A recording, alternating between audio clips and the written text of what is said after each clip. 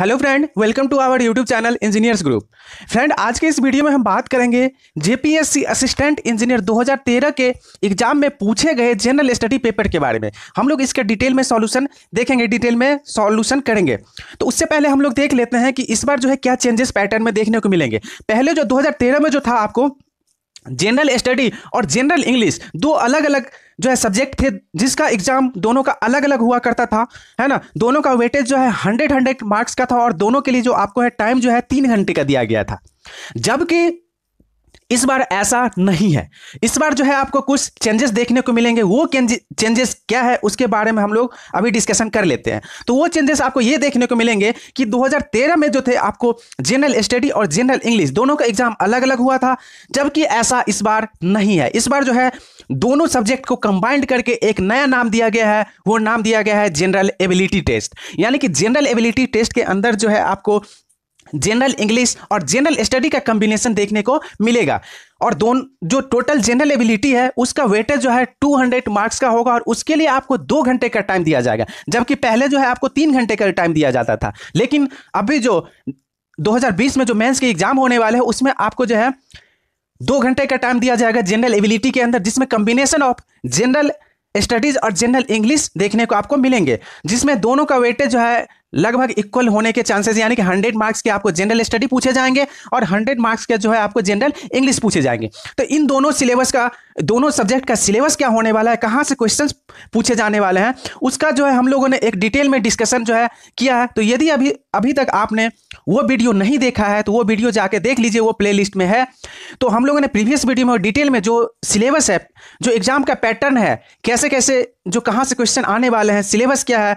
General English का general studies का, जो है सिविल इंजीनियरिंग पेपर वन का सिविल इंजीनियरिंग पेपर टू का, कहाँ कहाँ से क्वेश्चन फ्रेम होने वाले हैं? डिटेल में हम लोगों ने डिस्कशन उस वीडियो में किया है। तो अभी तक यदि हमारे चैनल को सब्सक्राइब नहीं किए हैं तो प्लीज़ सब्सक्राइब और शेयर ज़रूर कीजिएगा और बेल आइकन को प्रेस ज़रूर कीजिएगा ताकि आपको जेपीएससी से रिलेटेड हर वो इन्फॉर्मेशन जो आपके लिए इंपॉर्टेंट है, आप तक पहुँच पाए। और हम लोगों ने एक क्रैश कोर्स भी लॉन्च करने वाले हैं, जो कि सिविल इंजीनियरिंग जो जेपीएससी असिस्टेंट इंजीनियर का जो एग्ज़ाम होने वाला है, उसके बेसिस पर हम लोगों ने डिज़ाइन किया है, जो कि कंप्लीट सिलेबस होगा सिविल इंजीनियर का, हम लोग कवर करवाने वाले हैं। तो वो डिपेंड करता है कि आप लोगों का यदि रिस्पॉन्स ज़्यादा से ज़्यादा मिलेगा हम लोगों को तो हम लोग जो है जल्दी से जल्दी इसको स्टार्ट करने की कोशिश करेंगे। तो चलिए आज शुरू करते हैं, आज की इस वीडियो में पूरा डिटेल सॉल्यूशन जो 2013 में जनरल स्टडी के पेपर में पूछे गए थे। तो फ्रेंड एक बात यहाँ पे मैं बता दूँ, कुछ जेपीएससी असिस्टेंट इंजीनियर का जो एग्ज़ाम होने वाला है, इसमें आपको निगेटिव मार्किंग का प्रावधान नहीं है। यानी कि निगेटिव मार्किंग आपको देखने को नहीं मिलेंगे। यदि यदि मतलब जो क्वेश्चन आपसे नहीं बन पा रहे हैं, वो भी आपके क्वेश्चन करके आने हैं, क्योंकि यहाँ पे आपको नेगेटिव मार्किंग नहीं कटेंगे। ठीक है? तो इसलिए आपको जो है वो क्वेश्चन करके आने हैं। तो चलिए देख लेते हैं। जनरल स्टडी का पहला क्वेश्चन पहला क्वेश्चन क्या कह रहा है कि what does the letters stand for in the web terminology terminology S T T P S जो है, इसमें एस का मीनिंग क्या होता है? तो इसमें एस का मीनिंग जो होता है, वो होता है सिक्योर तो इसका हम फुल फॉर्म जो देखेंगे तो इसका फुल फॉर्म होता है तो जो इसका फुल फॉर्म होता है, वो होता है hyper text transfer protocol secure H for hyper T for text T for transfer P for protocol and S for secure तो इसका जो करेक्ट आंसर है, वो है बी यानी कि सिक्योर सेकेंड क्वेश्चन जो है, पूछ रहा है कि which of the following agencies in India provide financial support for the promotion of alternative energy uses यानी कि अल्टरनेटिव एनर्जी यूज़ करने के लिए प्रमोशन में जो जो फिनेंशियल मतलब जो बॉडी जो है फिनांशियल सपोर्ट करता है, वो कौन सी बॉडी है? ठीक है? तो उसमें ऑप्शन में हम देख रहे हैं कि C E R N option B जो है N C E R T option C जो है एस डी बी है और ऑप्शन डी जो है I R E D A तो फ्रेंड इसका जो करेक्ट आंसर होगा, वो होगा डी यानी कि I R E D A तो इसका जो फुल फॉर्म हो जाता है, वो है Indian renewable energy development agency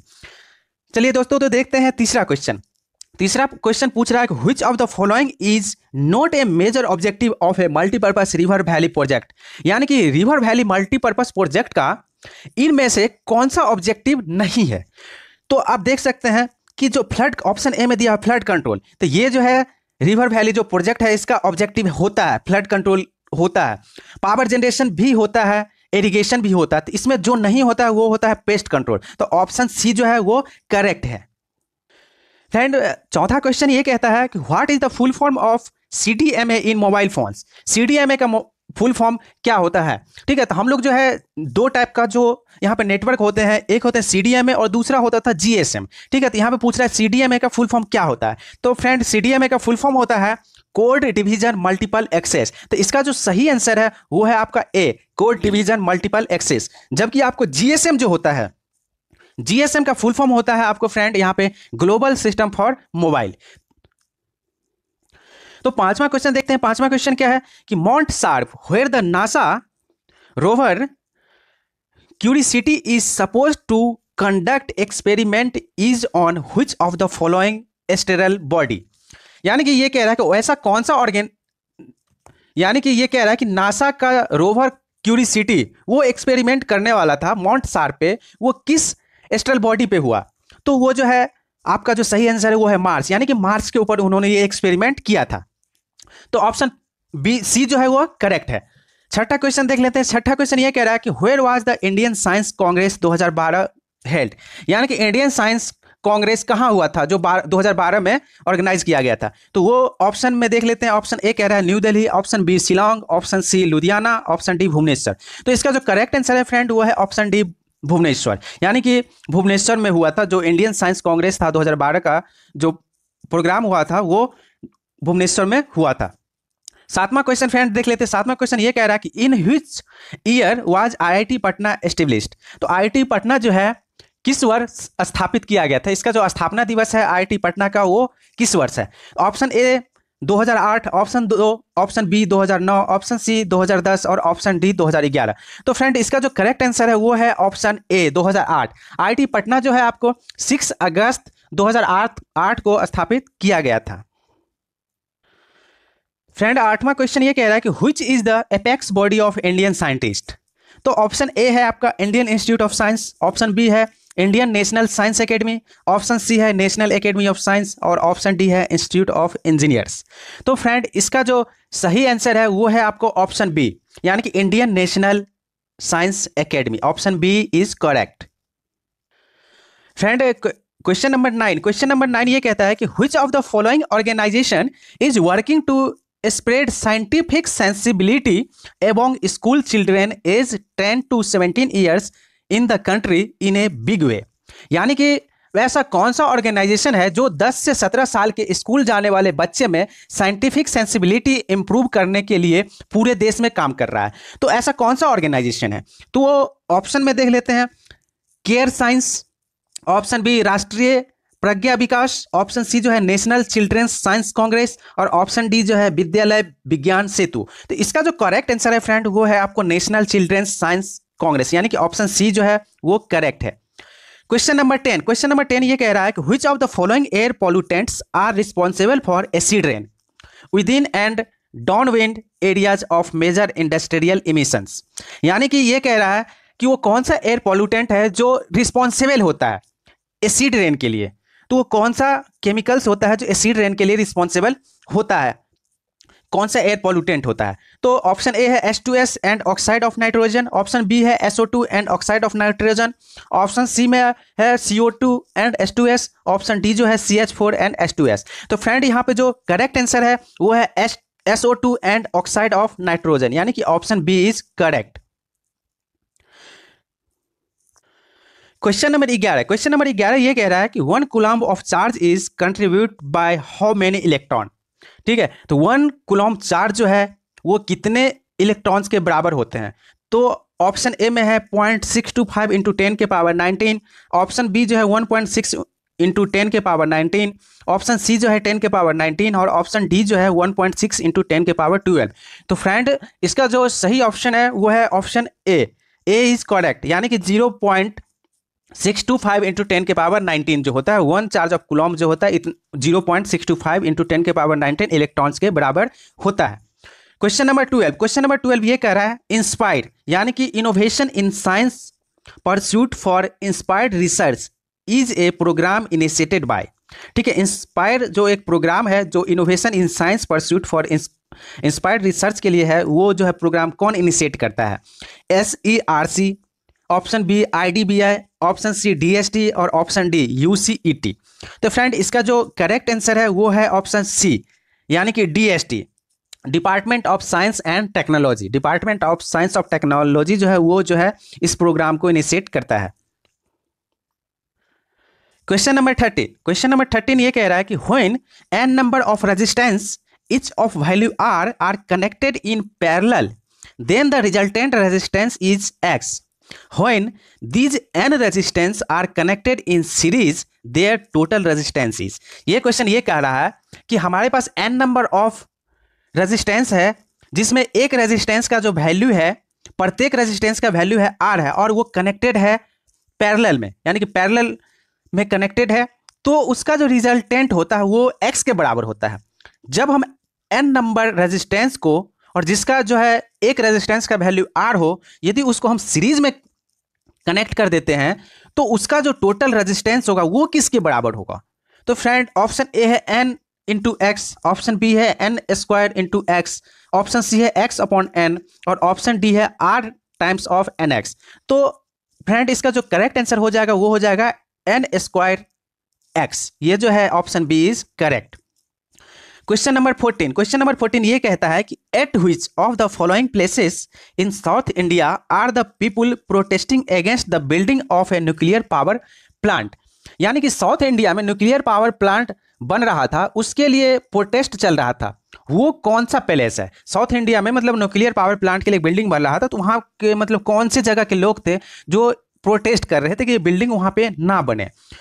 तो वो जो है आपका ऑप्शन जो है A Coonoor option B Kudankulam option C Tenali और ऑप्शन डी जो है एथोला तो जो करेक्ट आंसर है फ्रेंड वो है ऑप्शन बी यानी कि कुंडाकुलम कुंडाकुलम में के जो लोग थे वो प्रोटेस्ट कर रहे थे न्यूक्लियर पावर प्लांट के लिए जो यहाँ पे बिल्डिंग बन रहे, बन रहे थे उनके लिए ये लोग जो है प्रोटेस्ट कर रहे थे. तो option B is correct Kudankulam question number fifteen question number fifteen ये कह रहा है Sunita Williams went to the space station on July fifteen in a spacecraft belonging to which of the following countries Sunita William जो है fifteen July को जो है space station के लिए गई थी तो उसके लिए जो स्केस स्पेस क्राफ्ट जो यूज़ हुआ था यूज़ की थी उन्होंने, वो किस कंट्री से बिलोंग करता था? वो जो स्पेस क्राफ्ट था, वो किस कंट्री का था?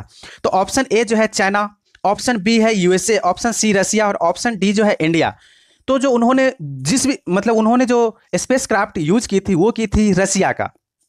तो रसिया का जो स्पेस क्राफ्ट था Russian spacecraft Soyuz TMA ठीक है, इनका उन्होंने यूज़ की थी। फ्रेंड क्वेश्चन नंबर सिक्सटीन ये कहता है कि what is a blue moon blue moon क्या है? Option A when a second full moon appears in calendar month option B when there is a hole of water vapour visible around the moon option C the last full moon of the year option D as moon is visible from the Arctic region तो इसका जो correct answer है friend वो है option A यानी कि when a second full moon appears in a calendar month question number seventeen question number seventeen ये कह रहा है where is the headquarter of Indian Space Research Organisation situated यानी कि इसरो का जो हेड क्वार्टर है वो कहाँ पे है? ठीक है तो ऑप्शन ए जो है आपका Chennai option B Sriharikota option C Bengaluru और ऑप्शन डी जो है न्यू दिल्ली तो फ्रेंड इसका जो सही आंसर है, वो है बेंगलुरु। यानी कि इसरो का जो हेड क्वार्टर है, वो है बेंगलुरु में है। जबकि Satish Dhawan Space Research Centre जो है, वो है आपको श्रीहरिकोटा में। तो श्रीहरिकोटा में किसका हेड क्वार्टर है? सतीश धवन का। सतीश धवन स्पेस सेंटर जो है, वो कहाँ पे है? श्रीहरिकोटा में है। ठीक है? तो फ्रेंड क्वेश्चन नंबर अठारह देख लेते हैं कि व्हाट इज़ डक्टल डक्टल क्या है? A new kind of concrete a new electron microscope a semiconductor या फिर ए सुपर क्रेन तो फ्रेंड इसका जो करेक्ट आंसर है, वो है a new kind of concrete ये जो है डक्टल जो है एक नया टाइप का जो है कंक्रीट है।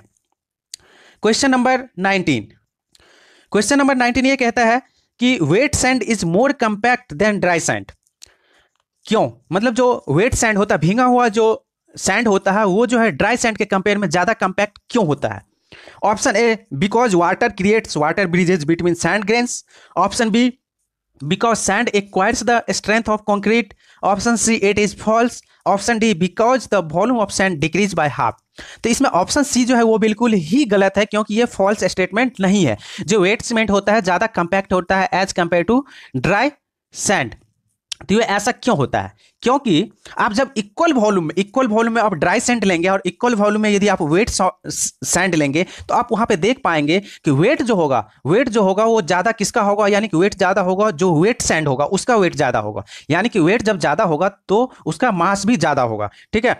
तो वो कंपैक्ट ज़्यादा होगा। यानी कि because water creates bridge between sand grains तो option A is correct question number twenty friend question number twenty कह रहा है कि who among the following was not a winner of Nobel prize for physics 2011 यानी कि physics के लिए जो नोबेल प्राइज 2011 में दिया गया था, उसका विनर इनमें से कौन नहीं है? ठीक है?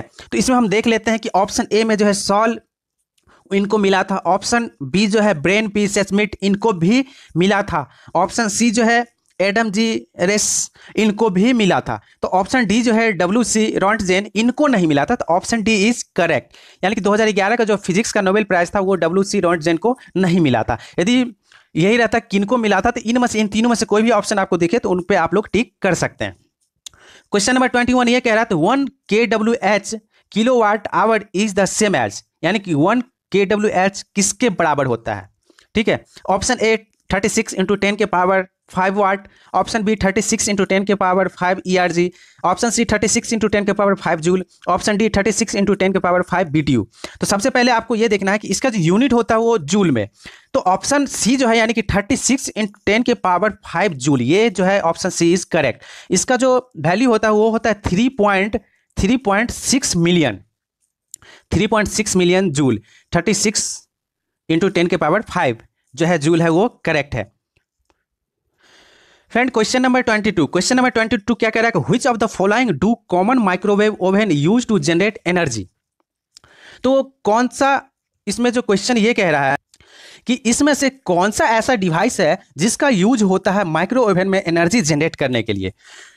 Option A thermoset option B magnetron option C particle accelerator और ऑप्शन डी जो है वो है सुपर कंडक्टर तो इसका जो आपका सही आंसर हो जाएगा, वो हो जाएगा ऑप्शन बी यानी कि मैग्नेटॉन का जो ये डिवाइस है, इसका यूज़ हम लोग एनर्जी जनरेट करने के लिए माइक्रो ओवन में करते हैं। Question number twenty three question number twenty three ये कह रहा है कि to which class of levers does the bottle openers belong बोतल ओपन करने के लिए जो हम लोग लीवर का यूज़ करते हैं, वो कौन से क्लास से बिलोंग करता है? Class one class two class three और option D none of the above तो इसका जो सही आंसर है, वो है ऑप्शन बी यानी कि क्लास टू से ये बिलोंग करता है, जो बोतल्स ओपनर होते हैं। Question number twenty four question number twenty four ये कह रहा है कि which of the following layers of the atmosphere blocks most of the ultra violet ray from spaces यानी कि कौन सा ऐसा लेयर है एटमोस्फेयर में जो अल्ट्रा वायलेट रे जो स्पेस से आता है, उसको रोकता है? कौन सा ऐसा लेयर है? Option A stratosphere, option B troposphere, option C ozonosphere, या option D none of the above तो इसका जो करेक्ट आंसर है, वो है ओजोनोस्फेयर। ठीक है ओजोन स्पेयर जो है, वो जो है, जो स्पेस से जो अल्ट्रा वायलेट रे, जो डायरेक्ट अर्थ तक आता है, उसको वो रोकता है, कौन सा? Ozone sphere question number twenty five. Question number twenty five ये कहता है कि व्हाट इज़ मैगलेव मैगलेव क्या है? A supernova, a system of transport, option C जो है the tallest building option D जो है ए टेलीस्कोप तो इसका जो करेक्ट आंसर है, वो है ए सिस्टम ऑफ़ ट्रांसपोर्ट। ये जो है मतलब मैकलेव जो है, किस एप्लीकेशन पे वर्क करता है? तो ये करता है मैग्नेटिक रिपल्सन पे वर्क करता है। ये जो है, मैग्नेटिक रिपल्सन के बेस्ट है ये सिस्टम जिसके ऊपर ये वर्क करता है और ये जो है, यूज़ किया जाता है सिस्टम ऑफ़ ट्रांसपोर्ट वर्क। तो फ्रेंड, आज के वीडियो में बस इतना ही। हम लोगों ने अभी जो है, एक से लेकर पच्चीस क्वेश्चन तक का जो सॉल्यूशन है वो डिटेल में किया है। नेक्स्ट वीडियो जो आएगा पार्ट टू उसमें हम लोग जो है ट्वेंटी सिक्स से लेकर फिफ्टी तक का क्वेश्चन करेंगे। तो ऐसे हम लोग जो है पूरा चार पार्ट में कर लेंगे, ठीक है? ताकि ये वीडियो लंबा ना हो। तो आई होप आज आपके लिए यूजफुल रहा होगा ये इन्फॉर्मेशन जो आप लोगों से प्रोवाइड की गई है। तो हमारे चैनल पे यदि आप लोग नए हैं तो चैनल को शेयर और सब्सक्राइब ज़रूर कीजिएगा। सो आज की वीडियो में इतना ही। Thank you so much